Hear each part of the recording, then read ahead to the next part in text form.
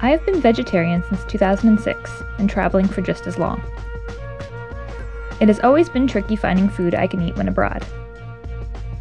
I want to try some of those. But as being vegetarian or vegan becomes more common, the options have really opened up. Even at street food markets, where skewered meat has always reigned king. Recently, we traveled to Taiwan, and it was a vegetarian's paradise. Pleasant surprise. In this video, I want to show you some of the amazing vegetarian street foods Taiwan has to offer.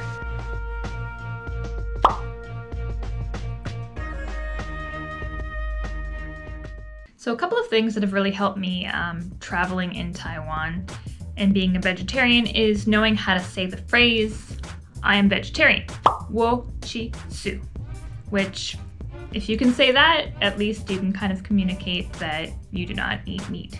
Um, on top of that, I've learned uh, characters for beef, um, chicken, fish, and pork, which have really helped in being able to read uh, certain things on menus or at street food stands, or buying little onigiri rice balls at the corner store. I can read what uh, things are inside. So just learning those few basic things I think helps a lot when traveling. Um, especially if you learn those characters, they are relevant when you go to Japan, when you go to China. Um, I've also used them in um, Malaysia, Vietnam, so learning them can really carry you pretty far. So I'm pretty sure I just bought stinky tofu. We're gonna try it for the first time. Yeah. I put a lot of uh, spicy chilies and stuff on it. So the thing is, like, people say they really don't like it, but I love fermented things. I love tofu and I love cabbage.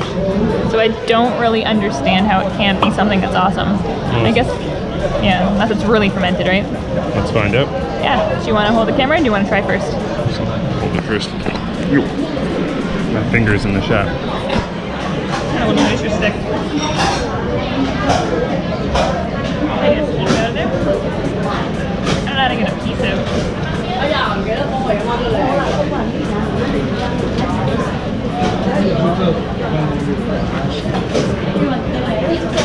It's really good. It's really good. How good is it? It has an aftertaste, but it's really good. Yeah. An aftertaste of stink, No, of deliciousness.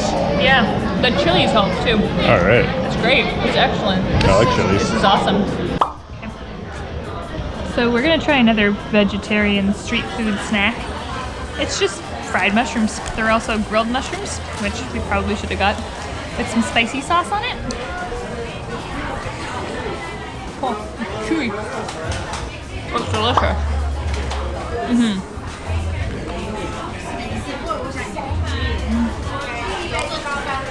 It's good.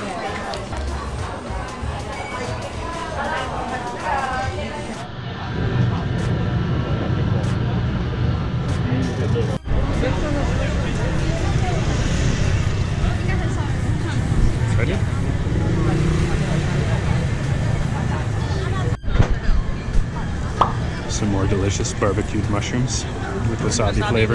Yeah. You like it? Oh yeah.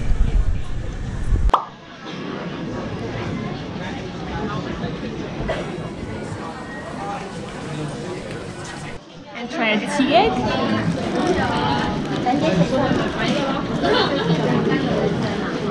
Is that right? you don't like it? There's a lot of spices. Saltier than I thought. Hmm. That didn't taste like black tea, but It does taste like tea though. no. No. It Tastes like salt and egg. Hmm. Good though. Well, that's good. Your turn. Okay. Yeah, I like that.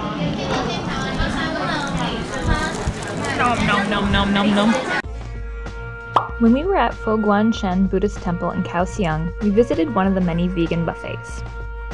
You can find temple food, or monk food, at many places in Taiwan. Temple food is always vegan. So we paid 150 for an all-you-can-eat. It's at least don't take more than you can eat buffet.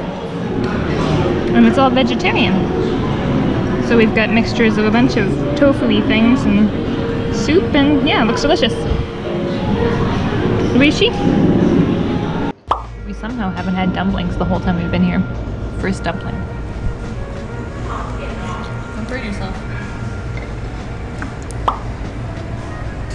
Gonna get delicious broccoli.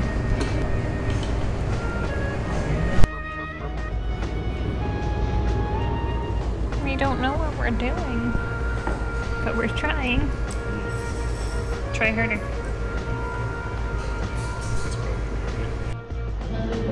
Somehow we managed to have emptied this minus the cup of corn that we're both not sure how to eat. But I feel like um, this is success enough. We can probably just leave our corn in shame. Yeah, that's amazing. I got a tomato vegetable one. It's Not currently. Here's my veggie tomato ramen. I'm not usually the person that films my food, but it just seems too good, you know?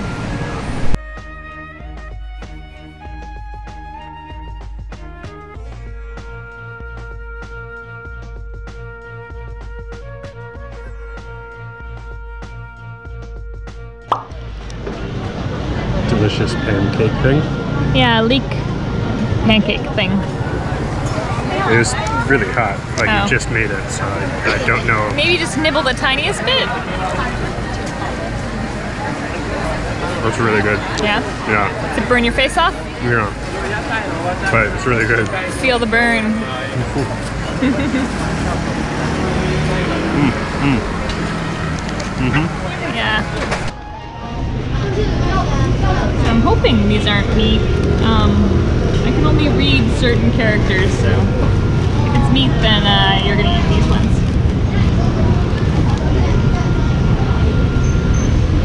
Mmm. Oh, just green onion. Nice. Mmm.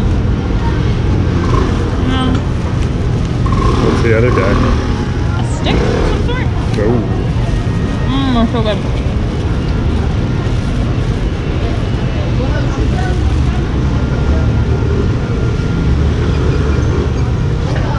Not as good, but definitely goes vegetarian. Your turn. You gonna try your pepper pie? It's really hot though. Is it Oh, super hot? Mine's fine. Yeah, just feel my bag there. It's, uh,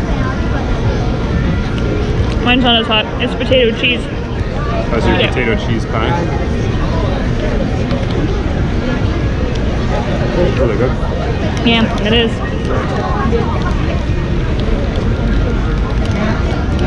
Just the breading's really good.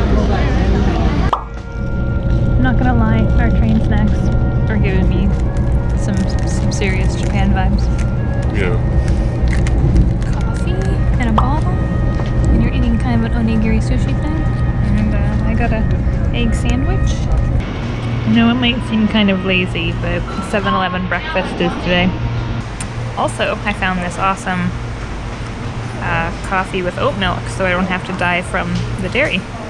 It's pretty exciting. And some miso soup. I'm gonna try bubble tea for the first time ever in my life.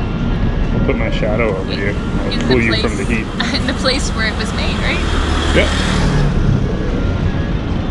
You've never tried it before, eh? No, It's shot a jelly in my mouth. I like the tea because there's no milk in it. It's just black tea with jelly things.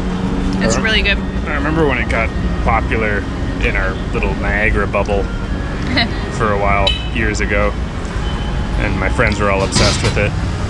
I thought it was alright. It's just really good because it's not like they can choo- you can choose your sweetness. Yeah. She said it's a certain amount of sweet, but it's just the jellies that are sweet. The tea is just black tea.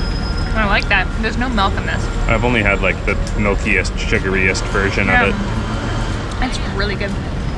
Oh yeah. So it gets a thumbs up. Mm-hmm. Comment below But because it's a black tea, I think. about your taste So I'm not a sugar fan at all. in the bubble tea. We did a lot of hard work today looking at temples. We still have one temple left at least. So uh, we gotta celebrate with a Taiwan beer.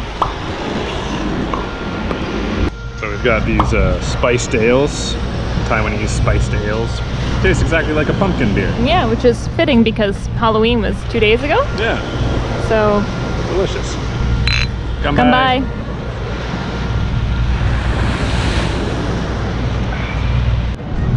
I'm not going to knock it, but it is very strange that you can buy beer at this nice historical site. More beer stands everywhere. And it's my way.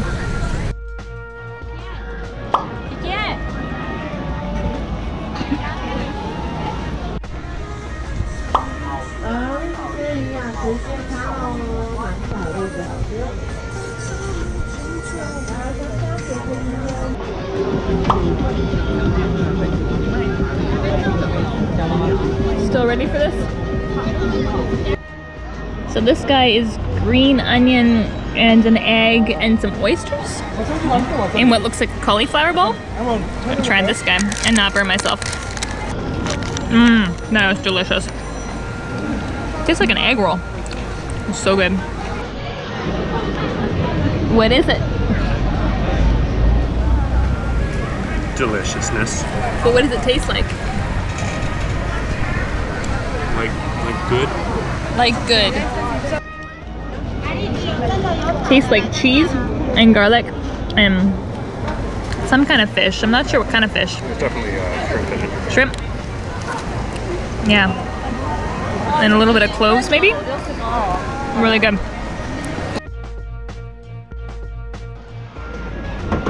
That was delicious. Yeah. What do you feel like trying next? Uh, whatever catches our fancy, I suppose.